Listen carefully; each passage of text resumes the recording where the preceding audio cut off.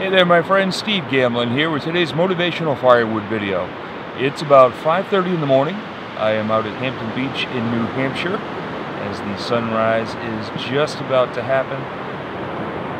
Was it easy to get out of bed? No. Did I want to get out of bed? Eh. Kind of. Did I want to catch this sunrise on this gorgeous morning? Yes. What's the key to all this? Taking action. Bed was nice and warm.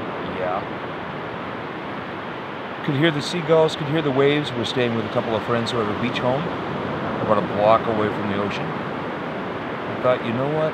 If I don't do this, I will regret it. Maybe not when I'm 90 years old, but today, yeah, I'll regret it. So what's on your list? What is it that you're thinking of doing that you'd like to do?